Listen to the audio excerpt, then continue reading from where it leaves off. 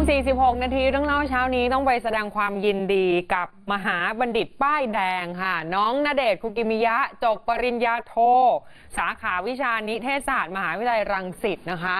หลังจากที่ใช้เวลาเรียนถึง 5 ปีเต็มค่ะ น้องบอกว่าโหหนักแล้วก็เหนื่อยกว่าคนอื่น เพราะว่าทำงานไปด้วยเรียนไปด้วย แต่ว่าโชคดีที่เพื่อนๆ แล้วก็อาจารย์คอยช่วยเยอะมากนะคะ และแน่นอนประสบความสำเร็จอย่างนี้สาวข้างกาย น้องยาย่าว่าอย่างไร ปริญญาใจหรือเปล่า นี่นี่มีภาพนี้ด้วยนะคะ น้องณเดชน์บอกว่าน้องยาย่าไม่ได้มีของขวัญอะไรให้ แค่คำพูดยินดี ตัวเองก็โอเคแล้ว แล้วก็เป็นภาพนี้นะคะ เมื่อคืนน้องยาย่าไปกับแม่ปลาค่ะ เอาดอกไม้ไปแสดงความยินดีกับพี่ณเดชน์ถึงหน้าบ้านนะคะ แล้วก็โพสต์เป็นภาพนี้ค่ะอ้าวเสียงน้องณเดชน์ทันไหมคะ ฟังเสียงกันดูค่ะ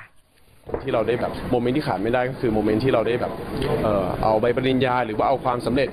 เอ่อมาให้กับครอบครัวนั่นเองจริงๆยากมากเลยบางหาเขาก็สายเรียนเหมือนกันเนอะ เขาก็เขาก็ดีใจนะครับเขาบอกว่าเออแบบเออภูมิใจด้วยอะไรอย่างเงี้ยก็ก็ขอบคุณขอบคุณมาก ไม่มีครับไม่มีไม่มีของขวัญไม่มีอะไรก็เออมันเราแบบแค่คำพูดเราก็โอเคแล้วอะเออจริงๆเราไม่ได้ไม่ต้องการของขวัญอะไร แบบนี้มีเลี้ยงสนองต่อไหมครับเดี๋ยวเดี๋ยวถ้าถ้ามีก็คงจะได้เห็นกันจะเป็นโอกาส มีมีแฟนถ่ายคู่ด้วยกันไหมครับ